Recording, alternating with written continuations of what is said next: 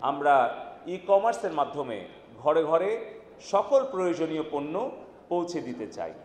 আমাদের এই e commerce যেই শিল্পটা আজকে গড়ে উঠেছে সেই শিল্পটা গড়ে তোলার পেছনে মাননীয় আইসিটি উপদেষ্টা সজীব ওয়াজের জয় ভাই আমাদের এই ডিজিটাল বাংলাদেশের যিনি আর্কিটেক্ট তার কি প্রত্যক্ষ ভূমিকা রয়েছে ছোট্ট করে আমি তার একটা উদাহরণ দিই।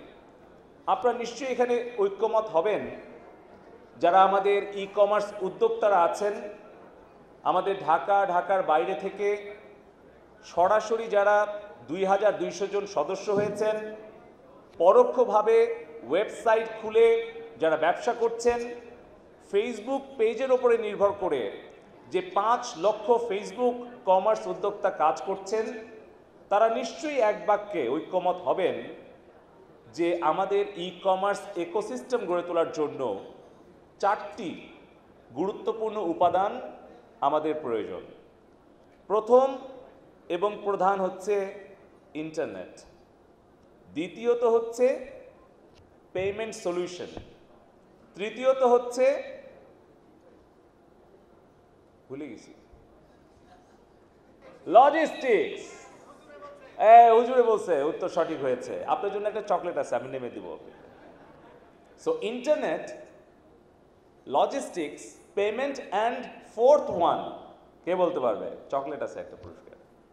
ট্রাস্ট ই কমার্সের যদি আমরা ইতিহাস পর্যালোচনা করি ইউএস এর অ্যামাজন থেকে শুরু করে চায়নার আলিবাবা,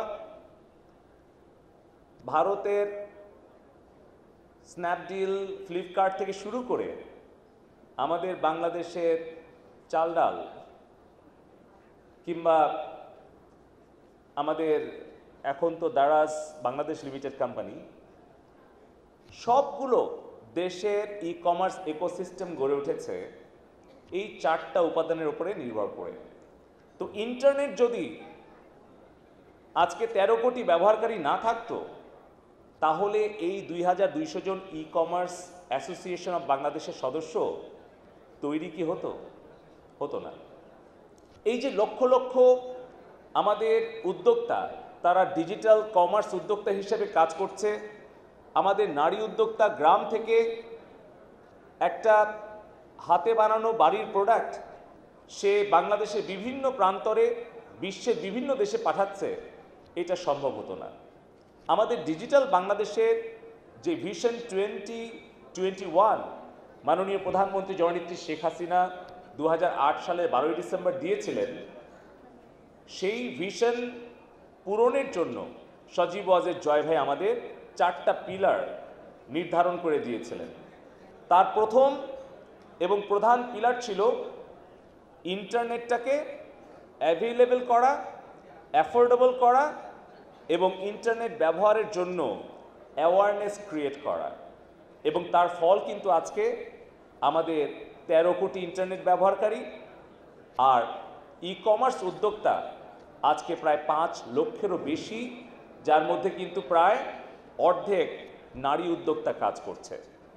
তো যেটা বলছিলাম যে লজিস্টিক্স মাননীয় প্রধানমন্ত্রী জননেত্রী শেখ হাসিনা যদি এই চোদ্দ বছরে রেল রোড, সবগুলো লজিস্টিক্স অর্থাৎ কমিউনিকেশন সিস্টেমটাকে আধুনিকায়ন না করতেন, ঘরে ঘরে বিদ্যুৎ না দিতেন, তাহলে কিন্তু আমাদের ই কমার্সের এই প্রসারটা হতো না।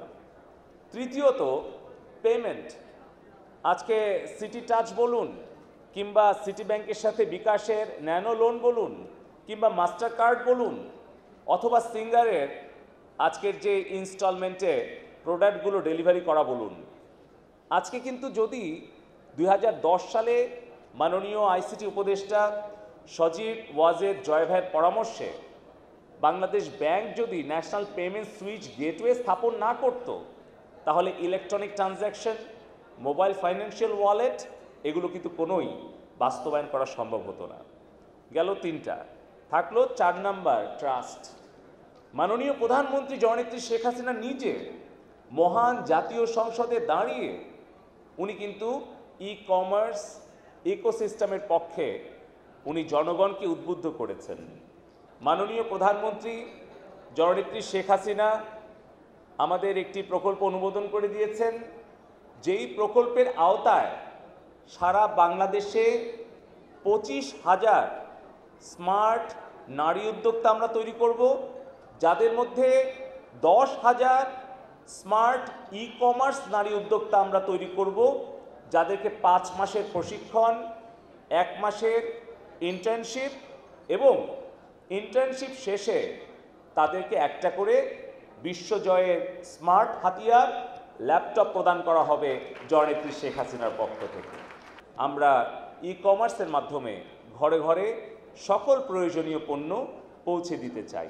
আমি বিশ্বাস করি জননেত্রী শেখ হাসিনার একচল্লিশ সালে স্মার্ট বাংলাদেশ বিনির্মাণে, স্মার্ট ইকোনমি এবং স্মার্ট কর্মসংস্থান তৈরিতে আমাদের আজকের ই ক্যাবের সদস্যরাই নেতৃত্ব দেবে। বি ইনোভেটিভ অ্যান্ড স্মার্ট জয় বাংলা, জয় বঙ্গবন্ধু।